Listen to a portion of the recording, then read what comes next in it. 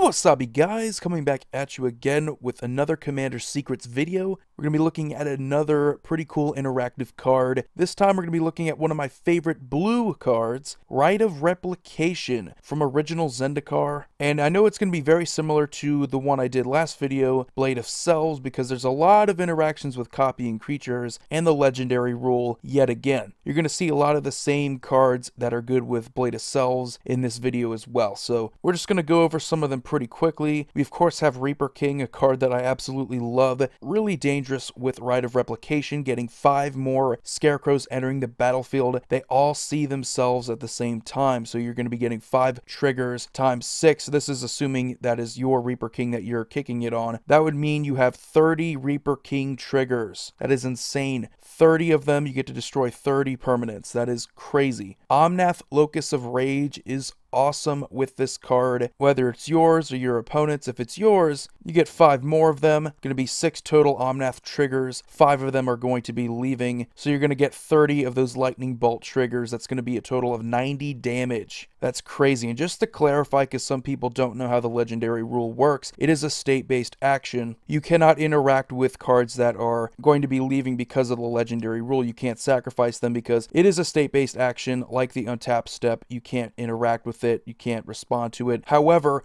cards can still enter the battlefield and then leave the battlefield because in order for the state-based action to occur the creatures do have to enter the battlefield first so they will get those triggers and those creatures then leave the battlefield after the state-based action so then you get the death triggers as well because the act of a creature even though it doesn't say it on the actual ruling the act of the creature actually going to the graveyard is considered dying so you do get death triggers off of your legendary creatures that do end up hitting the graveyard and tokens do technically hit the graveyard. So Omnath and and Reaper King are two really fun examples of how to take advantage of the legend rule. And you also have, you might remember, Vela the Nightclad, which is yet another one. Same thing, if it's your Vela the Nightclad, you get five more entering the battlefield and then leaving the battlefield. So that's going to be five leaving, so six total triggers, five times each. It's going to be 30 life each of your opponents are going to be losing. That should be enough to at least put them on the ropes, if not completely knock them out of the game. So that is just the jankiness of this card. You can throw it into a Vela the Nightclad deck, and you honestly should. You should throw it into a Reaper King deck. Omnath Locus of Rage is a little bit harder, though, because it is off color. You would need to be playing something like maybe an Animar deck or Horde of Notions if you want to synergize with Elementals, or my personal favorite, Kynaios and Tiro,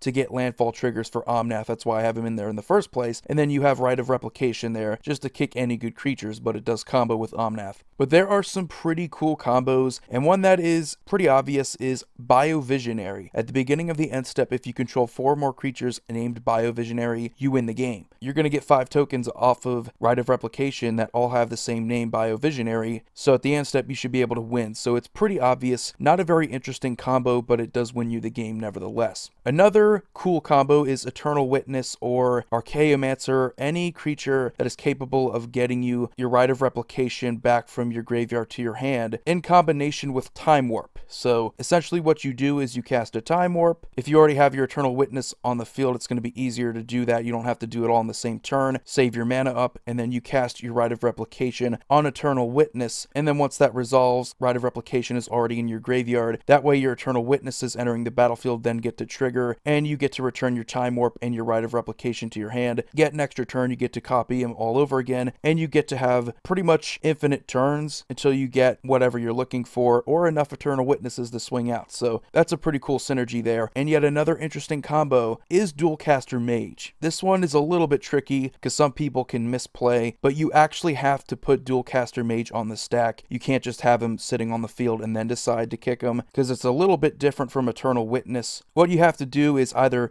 your opponents are kicking a Rite of Replication or you are and then you get to respond to it with your own Dualcaster Mage. So what this ends up doing is pretty much giving you infinite Dualcaster Mages without haste. So that is a fun little interaction there. Unfortunately, I don't believe you can pay the kicker cost, so it's just going to give you infinite Dualcaster Mages, but it will allow you to keep putting Dualcaster Mages on the stack, targeting the original Rite of Replication, and then you get more and more copies. So that is yet another pretty interesting interaction there. I could be wrong about the kicker cost, but I think I'm right about it. And we of course have cards like Consecrated Sphinx, which are just ridiculous in numbers. If your opponents have a Consecrated Sphinx, it's pretty much going to be collusion between you and that opponent. Let's just draw as many cards as we feel like. But you having five Consecrated Sphinxes means that it's their turn to draw a card. You're going to be drawing 12 cards. That's ridiculous. And while it is a main, you don't technically have to do it. That is just insane card draw. You almost don't even want to draw that many cards just because of how big of a target you're going to be. I mean, six consecrated sphinxes or at least five off of this is going to be ridiculous. And we of course have awesome ETBs. Don't forget Craterhoof Behemoth getting five of those entering the battlefield at the same time. They all see themselves entering the battlefield, so you're going to get at least plus five, plus five. Trample, they all have haste. That alone should be enough to finish off a lot of people. But when you consider you're probably going to have other creatures on the field as well, that's even more deadly. You of course have removal based creatures like Terastodon, Acidic Slime, Reclamation Sage that all devastate your opponents if you get multiple copies, especially Terastodon, getting three different non-creature targets and getting five more of them. That is ridiculous. 13 non-creature permanents. This is including lands. I don't care if they get 3-3 tokens. I really don't. I'm going to have, what, six nine nines to block all day, so I'm not too concerned. Absolutely devastating for your opponents to have to deal with that much removal. Ridiculous. And you, of course, have Massacre Wurm. Getting five of those, your opponents are going to get minus two, minus two for each Massacre Wurm, and they're going to lose a bunch of life because each Massacre Wurm is going to trigger when their creatures die. So, yet another cool win con, an awesome interaction that works out brilliantly. And you also have Psychosis Crawler. Getting five more of these means that whenever you want to draw a card, each opponent is going to be losing a life for each Psychosis Crawler that you have. So if you have any way to wheel or windfall, you pretty much have the win right there. That is ridiculous. Not to mention their power and toughness can vary depending on how many cards you have in your hand. So you could have a ton of good creatures because of that. So that's pretty cool. And not to mention, we just have decks that are good with numbers, such as Wizards and Merfolk. So having a card like Galecaster Colossus is pretty cool. Getting five more of those is even better. Same thing with Lullmage Mentor.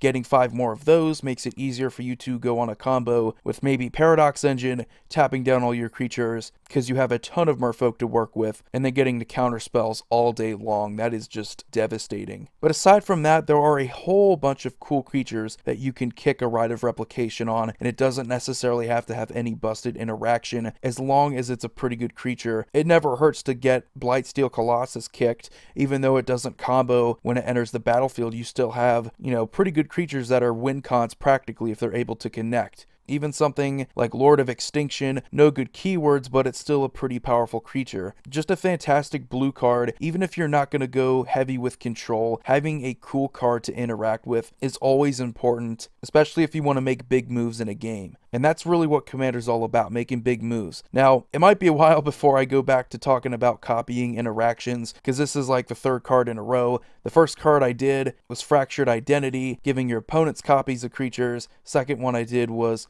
Blade of Selves, giving ourselves copies of creatures, fooling around with the legendary rule. This one I think is even better. It is going to be a total of 9 mana if you kick it, but it's definitely worth it. When you consider that, I mentioned a bunch of win cons and just a bunch of devastating interactions. It truly is a fun card. I know people always like to view blue as the most oppressive color in Magic, especially in Commander. You have so many cards to play around with in this Eternal format, but there are just some fun copying interactions. We know about Phyrexian Metamorph, we know about Clever Impersonator, the usual clones in the format, but Rite of Replication takes it to a whole nother level. It's a fantastic card. And yeah, worst case scenario, it is just a 4 mana sorcery version of a clone, which is terrible. So you do need to be able to get up to 9 mana in a game to make use of it. So I just felt like I should state the obvious there. And obvious inclusions into decks like Brago King Eternal, Roon of the Hidden Realm, those are both decks that love interacting with good ETB creatures as well. Because that's also what you really want to get out of good creatures is their ETBs. And Rite of Replication is perfect in those two decks for that whole reason. I mean, a fantastic card, brilliant, and that's why it's my favorite blue card to be honest. But anyway, that's going to do it for this video.